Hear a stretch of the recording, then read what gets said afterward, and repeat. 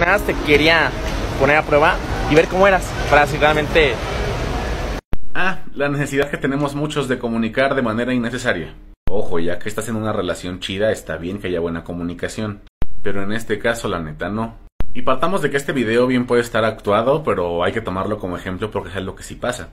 Chica invita a salir a chico nomás para que le pague la comida. Él se hace güey y dice, ay, no traigo. Ella se arma una escena, se para, se va. Ay, tú no traías dinero, no sé qué. Y ya el güey saca el dinero. No, yo sí traía y esto era una prueba, pero la fallaste. Ajaja. Y yo creo que eso era totalmente innecesario y está basado en una inseguridad. Me explico. Tú ya viste que la chica es interesada, que solamente salió contigo para que le pagues y que incluso ante la perspectiva de que no trajeras dinero te iba a dejar botado. ¿Qué ganas comunicándole todo lo que pasó por tu mente en ese momento? Simplemente descártale ya.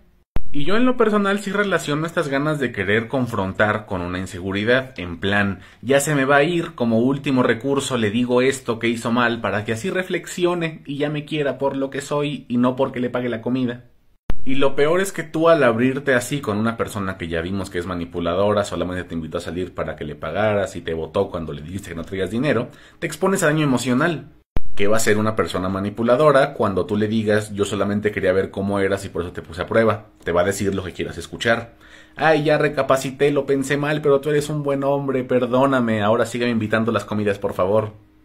Por eso lo que digo al inicio, ya que sabes que la otra persona es buena y una relación chida y todo, está bien que haya buena comunicación, pero tú al abrirte con personas manipuladoras te expones al daño. Y no es tu culpa que te dañen, la culpa nunca es de la víctima, pero es una técnica de autoprotección.